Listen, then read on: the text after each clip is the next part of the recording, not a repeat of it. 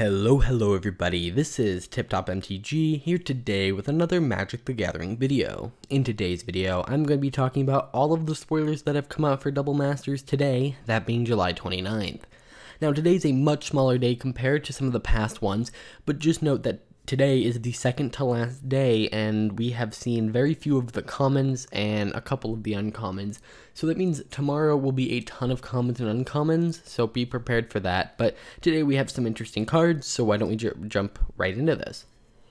Starting off, we have Leonin Abunas. It's a 4 cost white creature cat cleric, and it says artifacts you control have hexproof, and it's a 2 5 generally a pretty good pick for limited in a set all around artifacts, except maybe, you know, you don't want to have that little that the interaction that sometimes makes limited removed, but um uh, we've yet to see all the comments and how much artifact destruction there really is. I expect there to be a lot though. It was last reprinted in Archenemy and it's going for about two dollars. Again, like I've been saying throughout all of spoiler season, I believe that two dollars should be the bare minimum for a rare you know, this should be considered a bulk rare, not 35 cents. Um, but unfortunately, a $2 card is better than a lot of them. Um, and that's kind of sad for a $15 booster. Next, we have Disciple of Bolas. It's a 4 cost black creature, human wizard, 2 1, and when it enters the battlefield, sacrifice another creature. You gain X life and draw X cards, where X is that creature's power. So, um, yeah, you're gonna draw a bunch of cards, gain some life. Cool card, but and it fits within the sacrifice theme that I believe is Golgari in this set uh, and it's about 35 cents, and it was last reprinted in Commander 2020. If you want to learn more about the themes, watch for a video I'm going to be doing soon, uh, where I talk about the what they call like the sign uncommons, which are essentially uncommon multicolored cards that kind of hint at what you're supposed to do in each color combination. So we're going to look at those uh, in an upcoming video, so keep an eye out for that. Next, we have Toxic Deluge. Now, this is a leak. Uh, this has not been confirmed. This could be off. Now, this is the box topper version, which I really don't know how the box topper version leaked, but it's a 3 cost black sorcery and is an additional cost to cast the spell, pay X life. All creatures get minus X, minus X. Pretty awesome board wipe. The obviously non showcase version before this was announced is going for about $38. It's a leak, so Card Kingdom doesn't update their prices. Oh, that's another thing I meant to mention. In the bottom left, that price is in USD and it's um, as of today, that being the 29th, and it is also from Card Kingdom. You can probably find these for cheaper, but generally these are those are the prices that I'm going with. So about $38, expect that to drop to around 20, maybe 25, but that's also an awesome inclusion as a rare, and it's looking like it'll be a box topper. Uh, just keep that in mind, and it was last reprinted in Eternal Masters. Next, we have Ancient Stirrings. It's a one cost green sorcery, and it says look at the top five cards of your library. You may reveal a colorless card from among them and put it into your hand. Then put the rest on the bottom of your library in any order. Now, obviously, this makes a lot of sense in an Artifact Masters kind of set, and honestly, it's not that. Like a 50 cent uh, common is not awful, but again, obviously, you're not looking at the commons for value. They're generally there for the draft experience. Next, we have Thopter Foundry, which is a pretty popular card. Um, it's going for about 35 cents, but it's uh, white and a black, white or a black, and then a blue for an artifact. And it says pay one, sacrifice a non-token artifact, create a 1-1 blue Thopter artifact creature token with flying. You gain one life. So you sack a non-token, make a token 1-1. Pretty awesome card, but what it does is it goes infinite with this next card, be that being not this card. Sorry, it's later on. I forgot I do these not in the order they were spoiled. They're ordered uh, WUBRG and then multicolored, colorless lands. Either way, we have Maelstrom Nexus. It's white, blue, black, red, green for an enchantment that says the first spell you cast each turn has Cascade. And this was a mystery booster foil, and it's going for about $4. It is a mythic, so a $4 mythic. So I think at this point we have three just dud mythics. A couple mythics that I would say are below average, a couple mythics that are average, and just a few above average uh, mythics. So yeah, this is uh, kind of disappointing.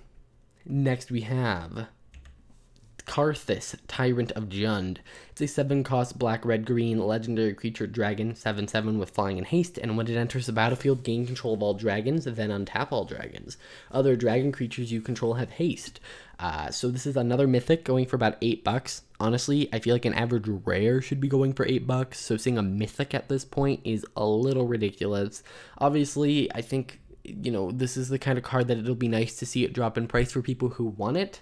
Uh, eight bucks is a little high for an individual card, but it's also not like it desperately needs a reprint. I just kind of wish they this was a rare. If this was a rare, this would be an amazing inclusion. Uh, you know, the collectors, it's worth a little bit more than half the pack. For people who are buying singles, it'll reduce the price of a card that's not extremely expensive, but also not cheap. If you're trying to build a fifty dollar deck, this card can't go in it. That would be more than that would be almost a fifth of your budget. So uh, keep that in mind.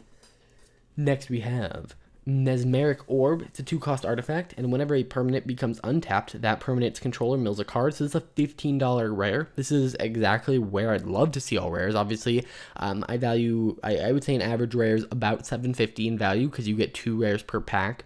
So this, if you pull this, you pay for your pack, and the rest is all just profit, which is pretty awesome. Last, it was last reprinted in Salvat 2005, uh, and so it's been a while pretty awesome reprint that, you know, it makes it cheaper for people who want to buy it and it also is good for collectors.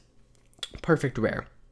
Next, we have Sword of the Meek, so this goes infinite with Thopter Foundry. It's a two-cost artifact equipment, and it says equip creature gets plus one, plus two, and equip two, but it also says whenever a 1-1 enters the battlefield under your control, you may return Sword of the Meek from your graveyard to the battlefield, then attach it to that creature. So the idea is you sack it for one um, mana and like or you sack the sword for one mana to create a 1-1. Since the sword's in the graveyard, when the 1-1 hits the battlefield, it comes back. And so while it's not an infinite combo because you need mana, uh, if you get something like an Ashnod's Altar out that sacks your Thopter for 2 mana, now you do have infinite Thopters, but generally what this is is just pay 1 mana, make a 1-1 flyer pretty good combo that is in here. And one of them is a rare, one of them is an uncommon, and you can pick two cards in your first pick in draft. So if you see those in a pack, you just pick them and boom, you got this uh, yourself a nice little combo. So that's pretty awesome. Unfortunately, it's only a $6 rare, although $6 is looking better compared to like 35 cent Augur of Bolas. Uh, but overall, I wish it was a little higher, but that at this point is fine. Next we have Sword of Light and Shadow. It's a 3 cost artifact equipment. and equipped creature gets plus 2 plus 2 and has protection from white and black. And whenever equipped creature deals combat damage to a player, you gain 3 life and you may return up to one target creature card from your graveyard to your hand. So um, this is a $30 card from Salvat 2005 pretty uh, you know it's part of the sword cycle i'm at this point all of them are confirmed and so yeah, it's nice to see it. But it also has a you know showcase version going for about 90 bucks. I like the art on it, pretty awesome. Next, we have Sword of Body and Mind. This is a 3 cost artifact equipment. An equipped creature gets plus 2 plus 2 and has protection from green and blue. And whenever equipped creature deals combat damage to a player, you create a 2 2 green wolf creature token, and that player mills 10 cards, and then you equip 2. And it's going for about 15 bucks, so it's a lot less than the others. Again, I feel like a bare minimum mythic should pay for the pack, so at this point it's doing that. Uh, and it does obviously have a showcase frame as well, going for about 80 bucks. And then we have our a land. So we have High Market. It's a land. You tap it for colorless. Tap, sacrifice a creature, gain a life. Uh, it's going for uh, for about seven dollars. Uh, again, I would prefer it a little higher, but I, if this is what they're going to call an average rare, I guess that's fine. Um, but yeah, seven bucks isn't the worst we've seen. Next, we have all of the showcase cards. So now all of the showcase cards have been revealed. So these are them in number order. So Karn Liberated, Jace, Avacyn, all those. Um, for some reason yesterday I was missing Phyrexian Metamorph in here. So we have this whole first page filled. We now have this page filled if Toxic Deluge is true. And by the way, the naming of it and the, you know, the numbering of it all matches. We have then also, you know, this page has been full for a little bit, but then we also have finished the sword cycle with Body and Mind and Light and Shadow. Honestly, tomorrow I don't expect any really awesome cards. Um, I'm mostly expecting just a ton of commons and uncommons, so keep an eye out for that. It'll be interesting to see. Those will go through a little bit faster because if they're revealing, you know, 60 un- or 60 commons, I can't really explain what each of them does and why they're awesome and limited. Uh, it'll be a little faster, but overall, that's it for this video. If you enjoyed, please hit that like button, subscribe, and I'll see you in the next one.